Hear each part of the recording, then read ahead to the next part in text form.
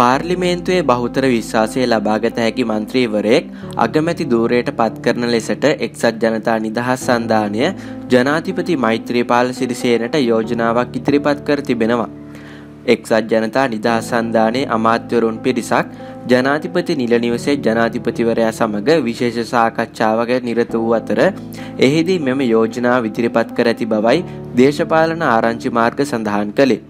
එම රැස්වීමේදී එක්සත් ජනතා නිදහස් සන්ධාන රජයක් පිහිටුවීමට අවස්ථාව ලබා දෙන ලෙස ජනාධිපතිවරයා හමු නිදහස් සන්ධාන අමාත්‍යවරුන් ජනාධිපතිවරයාගෙන් ඉල්ලීමක් කර තිබෙනවා.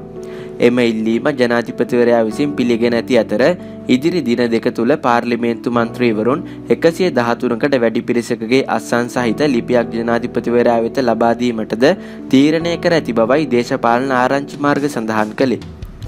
නිදහස් සන්ධාන රජයේ අග්‍රමාත්‍ය ධූරය නිමල් සිරිපාල්ද සිල්වාට ලබා දිය යුතු බවටද මෙහිදී සාකච්ඡා වී ඇති බවයි එම ආරංචි මාර්ග තවදුරටත් කියා සිටියේ.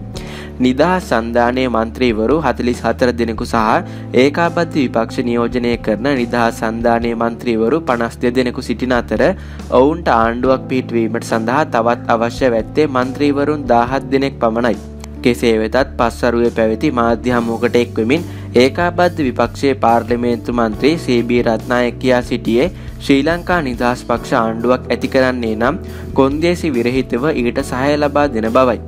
මේ අතර ජනාධිපතිවරයා විසින් ශ්‍රී ලංකා නිදහස් පක්ෂයේ ආසන සංවිධායකවරුන් සහ පළාත් පාලන මැතිවරණයේ ජයගත් සන්ධාන අපේක්ෂකයන් හෙට කොළඹට කැඳවා තිබෙනවා. ශ්‍රී ලංකා නිදහස් පක්ෂ තරුණ පෙරමුණේ සභාපති ශාන්ත බණ්ඩාර කියා සිටියේ පස්වර තුනට කොටුව ජනාධිපති මන්දිරයේදී මෙම සාකච්ඡාව පැවැත්වෙන බවයි.